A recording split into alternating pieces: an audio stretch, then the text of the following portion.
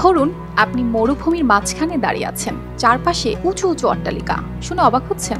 আরও অবাক হবেন যখন শুনবেন এই অট্টালিকাগুলো ইট, কংক্রিটের নয়, বরং সম্পূর্ণ মাটির তৈরি। হ্যাঁ এই অদ্ভুত শহরটির নাম শিবাম।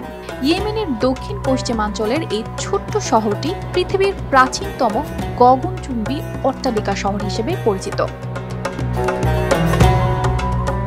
শিবাম শহরে প্রায় সাত থেকে আট হাজার মানুষের বাস। কিন্তু এর প্রত্নতাত্ত্বিক গুরুত্ব অসীম। ষোড়শ শতাব্দীতে শহরটি ব্যবসা বাণিজ্যে সমৃদ্ধ ছিল। তবে বেদুইন দস্যুরা শহরের উন্নতির পথে বাধা হয়ে দাঁড়িয়েছিল।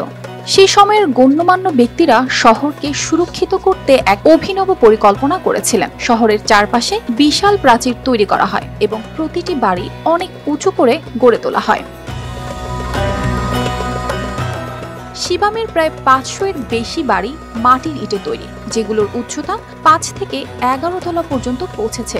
প্রতিটি বাড়ির বিভিন্ন তলা বিভিন্ন কাজের জন্য ব্যবহৃত হতো। প্রথম তলায় গৃহপালিত পশু রাখা হতো, দ্বিতীয় তলায় ছিল ব্যবসা বাণিজ্যের স্থান, আর তৃতীয় তলা থেকে শুরু হতো মূল বসবাস। তবে আজকের দিনে অর্থনৈতিক দুর্বলতার কারণে এই বাড়িগুলোর রক্ষণাবেক্ষণ আগের মতো করা সম্ভব হচ্ছে না।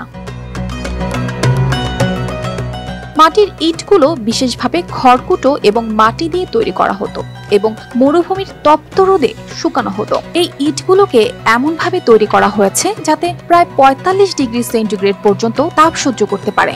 শহরের বাড়িগুলো ভূমিকম্পের ঝুঁকি থেকেও বেশ নিরাপদ।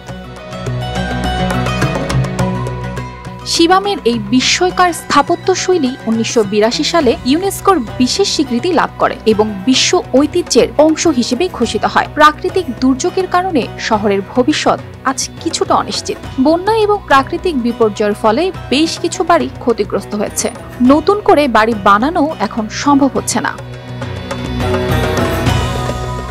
শিবামের প্রতিটি কোণ মুসলিম ঐতিহ্যের ছোঁয়া বহন করে। উনিশশো চার সালে নির্মিত আল মেহদার মসজিদ, যার উচ্চতা একশো পঁচাত্তর ফুট।